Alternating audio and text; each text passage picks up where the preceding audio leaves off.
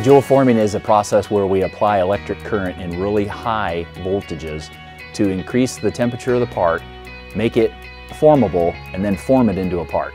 There's two big benefits. The number one benefit is it's cheaper. Instead of using a large block of aluminum or titanium and then cutting a bunch of chips out and wasting them, we start with a smaller piece of the material, we form it into what we want, and then it's a near net shape. The savings can be as much as 70% on the material and 50% on the machine time for these parts. It is a very green technology. Our scientists estimate we use 80 to 90% less energy to make a Joule formed part than to make a full-on machine part.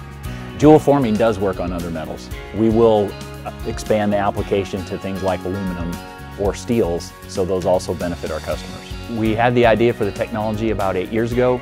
We've been developing it in that time, moving it from what I call tabletop lab experiments into production. And we're very close to implementing in production this year on our customers' airplanes. What our potential customers should know is that we can take their parts, their designs, take it from a lab idea, get it built into an airplane, have it be faster, better, cheaper, and have their airplane be more competitive.